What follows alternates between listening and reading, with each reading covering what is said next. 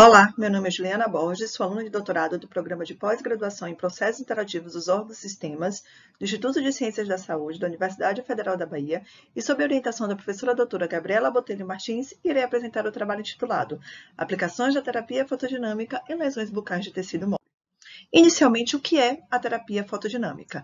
Ela compreende a união de três compostos. Um agente fotossensibilizador que, sob a presença de uma luz compatível, que pode ser uma luz laser ou uma luz LED, e sob a presença de oxigênio local, irá produzir radicais livres com consequente morte microbiana, ou seja, destruição de vírus, bactérias e fungos. Portanto, o objetivo do presente trabalho foi discorrer sobre as informações atuais encontradas na literatura científica acerca das aplicações e benefícios da terapia fotodinâmica em lesões bucais de tecido mole. Para isso, a metodologia empregada tratou-se de uma revisão narrativa de literatura com busca ativa nas bases PubMed, Lilacs e Cielo, que após o cruzamento dos principais descritores e aplicação dos critérios de inclusão e exclusão, um total de 10 artigos foram selecionados para o presente trabalho. E quais foram os resultados obtidos? Qual a aplicação da terapia fotodinâmica em lesões bucais de tecido mole? De acordo com o levantamento na literatura, ele pode ser aplicado para lesões de herpes labial, de candidíase, de mucosite oral e de líquen plano oral erosivo, conforme veremos alguns desses artigos selecionados na presente busca.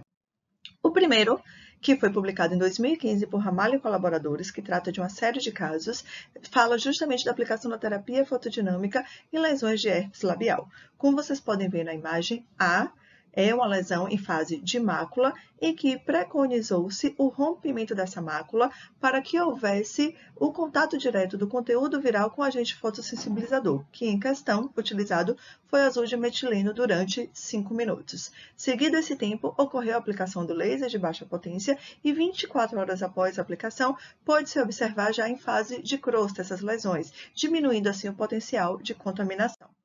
O segundo artigo que trago para vocês é de série de casos também, com cinco pacientes diagnosticados com estomatite protética, com infecção fúngica e decorrência de uso de próteses removíveis. Qual foi o protocolo empregado da terapia fotodinâmica? Foram seis sessões aplicadas durante três vezes na semana e por um período de 15 dias. O agente fotossensibilizador utilizado foi o derivado da hematoporfirina durante 30 minutos, determinando o tempo de pré-radiação, seguido pela aplicação da luz LED. E quais foram os resultados obtidos? Dos cinco pacientes, quatro demonstraram regressão completa dessas lesões após 15 dias de reavaliação.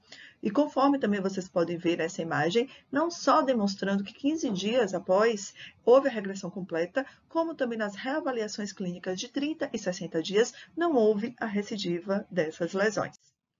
O terceiro estudo que trago para vocês é justamente aplicando a terapia fotodinâmica em lesões de mucosite oral infectadas. Essas lesões de mucosite oral são extremamente comuns em pacientes oncológicos submetidos à terapia antineoplásica e que deixam os pacientes extremamente debilitados e com risco de interrupção do tratamento oncológico. Vocês podem observar lesões determinadas como mucosite grau 3, que impede a alimentação do paciente via sólida, são úlceras extremamente dolorosas e que preconizou-se a aplicação do agente fotossensibilizador azul de metileno durante 3 minutos, seguido pela radiação com laser de baixa potência. 19 dias após aplicação única da terapia fotodinâmica, pode-se observar a regressão completa dessas lesões, melhorando assim a qualidade de vida do paciente oncológico. E por fim, trago a vocês aqui um estudo clínico controlado randomizado com pacientes diagnosticados com líquido plano oral erosivo, que são lesões mucocutâneas que apresentam uma origem imunologicamente mediada. Um total de 25 pacientes foram alocados randomicamente em dois grupos, o grupo terapia fotodinâmica e o grupo controle. Dos pacientes alocados no grupo terapia fotodinâmica foi aplicado inicialmente o azul de toluidina por 10 minutos, seguido a aplicação do laser baixa potência e foram seguidas essas aplicações durante duas vezes. E como grupo controle, foi utilizado a corticoterapia, que é a terapia considerada padrão ouro, além disso associada com a suspensão oral de nistatina. E quais foram os resultados obtidos?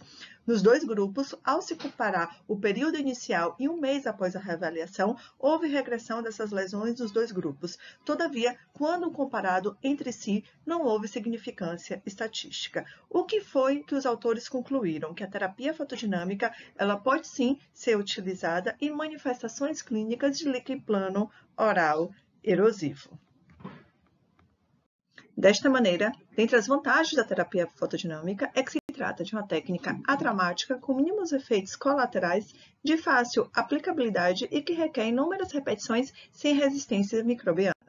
Desta maneira, podemos considerar que esta terapia é minimamente evasiva, bem tolerada pelo organismo e que não prejudica os tecidos adjacentes, e que, apesar de ter na literatura poucos estudos controlados, apesar desses poucos estudos, com diferentes parâmetros, podemos observar que a terapia fotodinâmica é efetiva na sua ação antimicrobiana. Essas são as minhas referências e gostaria de agradecer, em especial, a Agência de Fomento FAPESB.